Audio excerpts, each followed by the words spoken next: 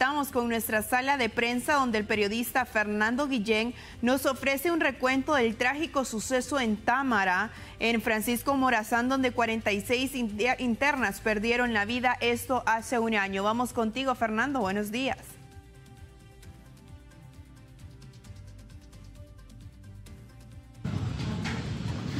Un día como hoy, pero en 2023, murieron más de 40 reclusas en la cárcel femenina en Támara Francisco Morazán, un hecho que enlutó más de una decena de familias. Según las autoridades del centro, el problema en ese momento fue una disputa entre pandillas rivales.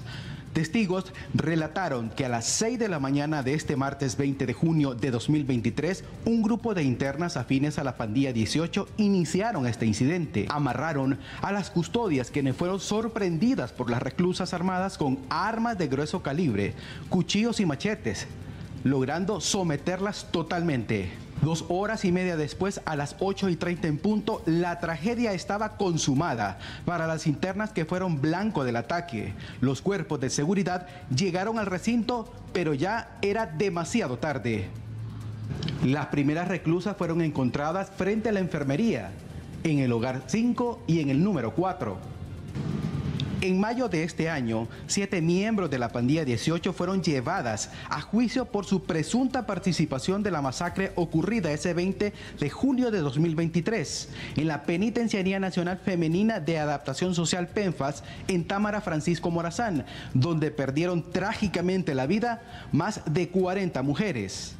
La Fiscalía Especial de Delitos contra la Vida acusó a las sospechosas de múltiples cargos, incluyendo asesinato, asociación para delinquir e incendio cualificado.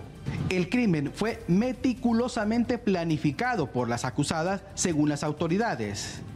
Los cuerpos de las víctimas fueron encontrados en múltiples lugares, dentro y fuera de los módulos, algunas gravemente mutiladas. El informe detallado reveló que la escena era espeluznante, cadáveres calcinados, apilados unos tras otros en la panadería, víctimas de heridas de bala y armas cortopunzantes en diferentes áreas de la penitenciaría. El caso todavía sigue en investigación por parte de las autoridades para dar con los autores principales de esta masacre. Más información en horas del mediodía.